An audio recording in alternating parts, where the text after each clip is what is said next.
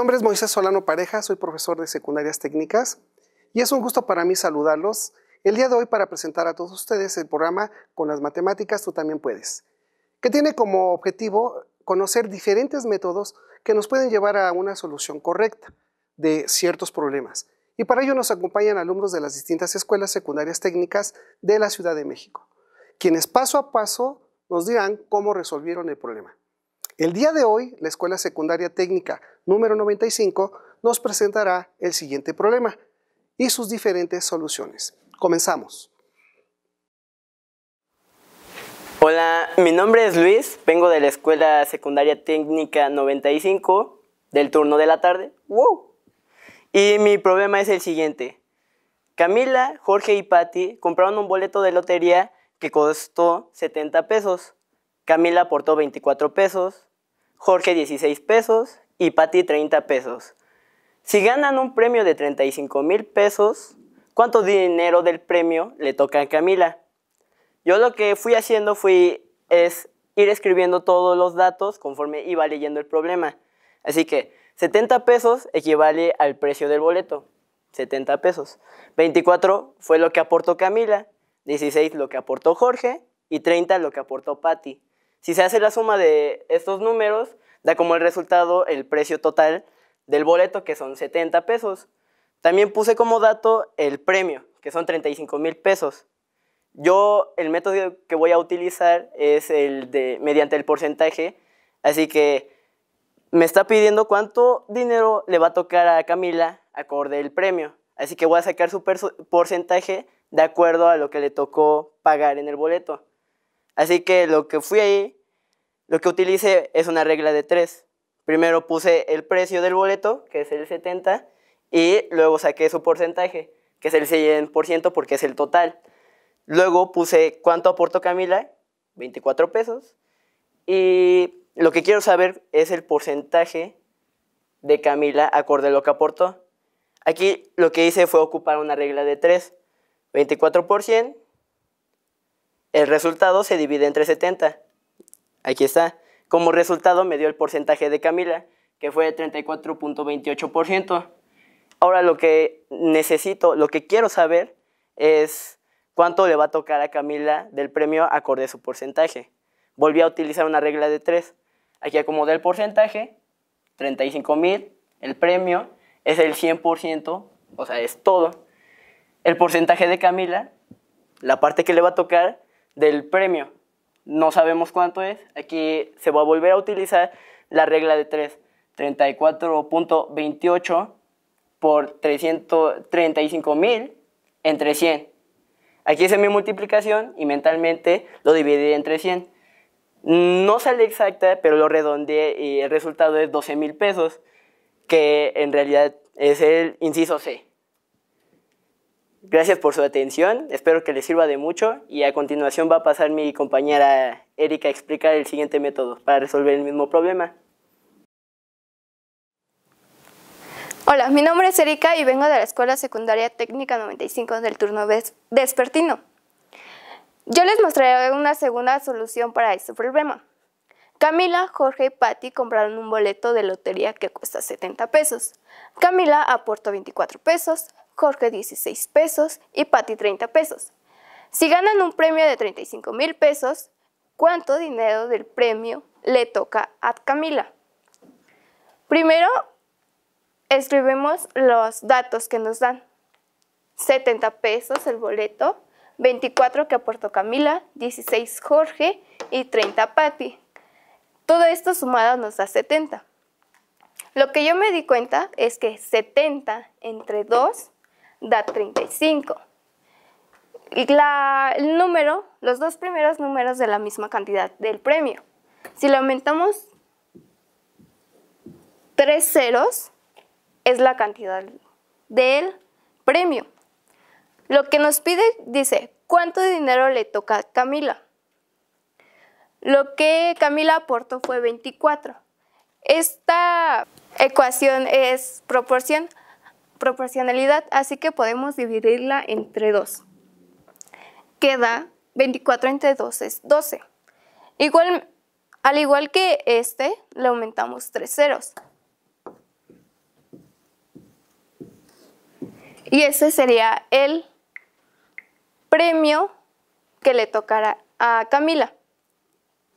Esto sería todo y mi compañera Daniela les mostrará un tercer solución para este problema. Hola, me llamo Daniela, vengo de la Escuela Secundaria Técnica 95 del turno vespertino. Yo les voy a dar un tercer procedimiento acerca de este problema. Camila, Jorge y Patti compraron un boleto de lotería que cuesta 70 pesos. Camila aportó 24 pesos, Jorge 16 pesos y Patti 30 pesos. Si ganan un premio de 35 mil pesos, ¿cuánto dinero del premio le toca a Camila? Muy bien, de este problema que acabo de leer, mis datos, mis datos principales fueron los 70 pesos del boleto, los 24 pesos que aportó Camila, 16 pesos que aportó Jorge y 30 pesos que aportó Patti. Aquí lo que yo voy, bueno, lo que yo tomaría, bueno, lo que yo usaría como procedimiento sería una regla de tres, pero en fracción. Tomaríamos los 70 pesos, sería 1, ya que es una unidad. Y bueno, como viene en el problema, lo, único que tendríamos que sacar sería ¿Cuánto dinero le tocará a Camila? Tomaríamos el dato de los 24 pesos.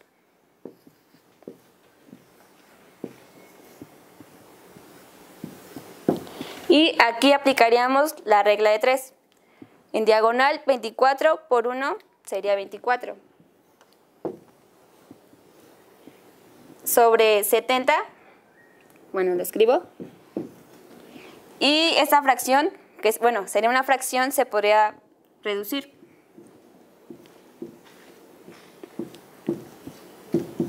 Como aquí nos daremos cuenta, los 35 serían como los 35 mil pesos. Y se supone que, bueno, esto sería lo que le tocaría a Camila. Entonces, le aumentamos los tres ceros. Y este sería el resultado que le tocaría a Camila, que sería la respuesta C de este problema. Espero les haya gustado este procedimiento. Gracias por su atención. Hola, me llamo Daniela, vengo de la Escuela Secundaria Técnica 95, turno vespertino. Yo les mostraré un método para resolver a continuación este problema. Se tiene un terreno cuadrangular si la base y la altura aumentan 3 metros y 2 metros respectivamente, el área del nuevo terreno rectangular será de 156 metros cuadrados. ¿Cuáles son las dimensiones del terreno cuadrangular? aquí está, bueno, como aquí podemos ver, este es el terreno cuadrangular, las cuales mis dimensiones son del valor x, ya que pues no sabemos el valor real. Cuando se aumentan los 2 y los 3 metros, se formará un terreno rectangular, el cual quiere decir para sacar el área sería base por altura, que es, bueno, que la medida de, los, de la base y de la altura sería x más 3 y x más 2, lo cual sería una multiplicación. x por x, x al cuadrado. x por 2, 2x, 3 por x, 3x, 3 por 2, 6, lo cual que me, me dará el resultado del área del terreno rectangular. Se sumarán los términos semejantes, que sería 2x más 3x, lo cual me saldría 5x. Saldría el trinomio, bueno, mi resultado sería este trinomio. Bueno, mi método sería el método de tanteo. Voy a experimentar con varios números y sustituiré los valores, bueno, sería x, que el número sería 2, lo sustituyo por 2. Pero como aquí veo que mi número es muy pequeño, experimentaré con números más grandes para poder ver qué número me va a dar el resultado del área del terreno rectangular. Bueno, como aquí pueden ver, mi resultado ya salió 156 del número 10, lo cual es 10 por 10 son 100, más 5 por 10 son 50, más 6. 100 más, más 50 más 6 saldría 156 Y bueno, lo cual mi valor sería 10, que es, bueno, sería 10, 10, que sería 10 por 10 son 100, pero como mi, el área del terreno rectangular son 156, la suma de los 2 y 3 metros, que serían 12 y 13, 12 por 13 me darían 156 metros cuadrados. Espero les haya funcionado este método. Gracias por su atención. A continuación, mi compañero Luis les dará otro método de solución. Hola, soy Luis de nuevo de la Escuela Secundaria Técnica 95 del turno de la tarde y hoy les voy a explicar eh, este problema. Se tiene un terreno cuadrangular. Si la base y la altura aumentan 3 metros y 2 metros respectivamente, el, área del nuevo terreno rectangular será de 156 metros cuadrados. ¿Cuáles son las dimensiones del terreno cuadrangular? Aquí está mi terreno, este es el terreno original que es cuadrado, más las medidas se vuelve un rectángulo porque no son iguales las medidas. Esta es más larga y esta es más corta. Queda como 2x más, digo, x más 2, x más 3. Aquí está el área que es el total, 156 metros cuadrados. Aquí está la fórmula del área del rectángulo. Base por altura. La base mide x más 3, la altura mide x más 2. Y yo el método que voy a utilizar es el de la fórmula general. Y primero debo de tener mi ecuación. 156 es igual a la a x más 3 por eh, x más 2. Esto me dará como resultado la siguiente ecuación. 156 es igual a x al cuadrado más 2x más 3x más 6. Para hacerla más corta voy a sumar términos semejantes, que en este caso sería 2x más 3x. ¿Por qué? Porque tienen la misma variable y están al mismo grado, o sea, 1. 156 igual a x cuadrada más 5x, la suma de estos dos números, 2 más 3, 5, y se conserva la variable, más 6. Ahora lo que voy a hacer es, igualar mi ecuación a 0. Entonces, 0 es igual a x cuadrada más 5x más 6 menos 156. ¿Qué hice con el 156? Lo despejé, lo pasé de este lado. Si aquí está positivo, pasa negativo. Solo voy a, ahora lo que voy a hacer es solo voltear mi ecuación y hacer términos semejantes de nuevo, que en este caso serían los números constantes, los que no tienen variable. 6 positivo menos 156. Entonces mi ecuación final terminaría así. x cuadrada más 5x menos 150, porque aquí se hizo la resta y se conservó el número, eh, el signo del número mayor, que en este caso es el negativo, igual a 0. Mi fórmula general es la siguiente. x1,2 es igual a menos b más menos raíz cuadrada de b al cuadrado menos 4a por c, 4 por a, 4 por c, sobre 2 por a. ¿Cómo voy a determinar los términos de a, b y c? Eh, fácilmente, a es el número cuadrático, el que tiene la variable en cuadrado. Así que, ¿cuál es la variable de este? Pues 1. 1 eh, es a. ¿Cuál es el número de B, 5. ¿Cuál es el número constante? Es C. Así que es menos 156 igual a C. Otra vez eh, sustituyo valores. Menos 5, B, más menos, B al cuadrado, 5 al cuadrado, menos 4 por A, por 1. Todo eso por menos por C, que es menos 54, eh, menos 100 50. Vuelvo a escribir mi eh, ecuación, pero ahora con la discriminante ya hecha, con las multiplicaciones ya hechas.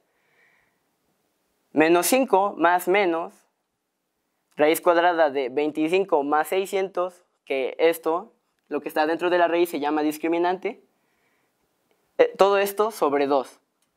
Menos 5 más menos, se hace la suma, 625 menos 5 más menos raíz cuadrada de 625 por 2, sobre 2, sobre 2.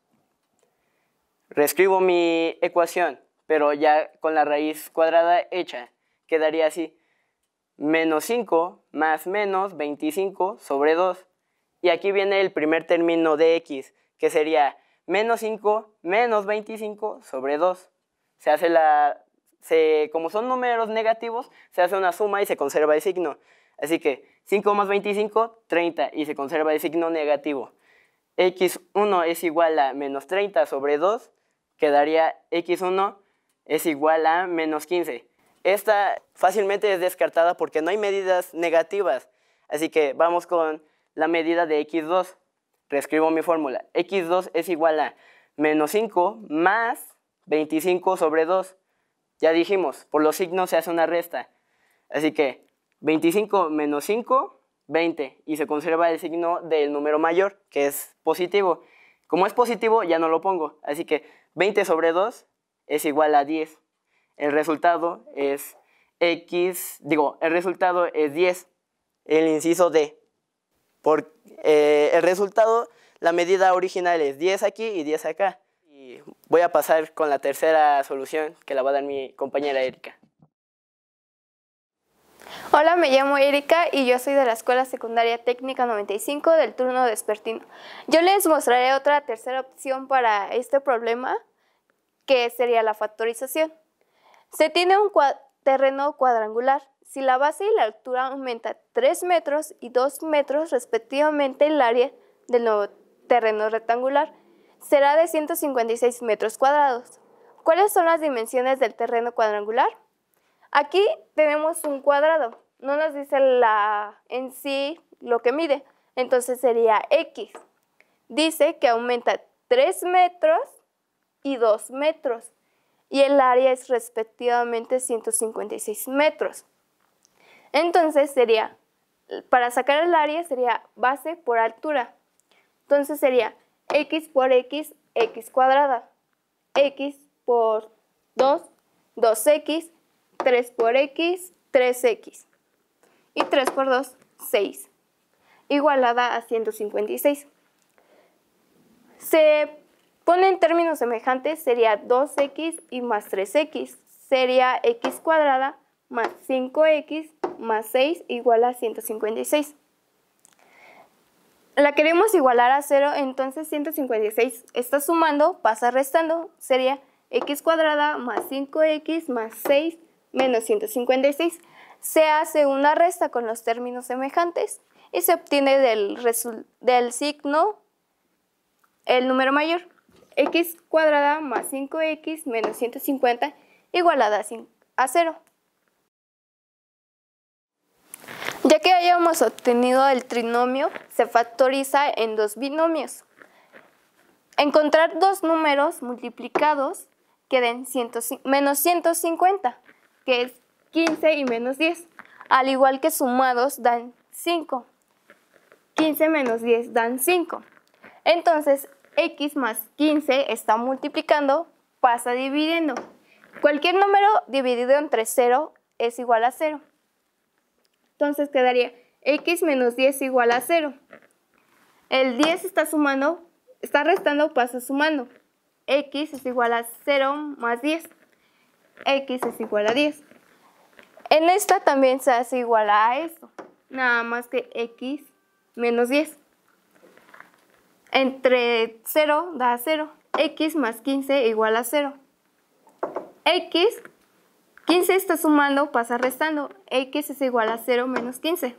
Entonces x, la segunda x vale menos 15. Pero ninguna medida es negativa, así que tomaremos el 10, el, el 10. Entonces la respuesta es D.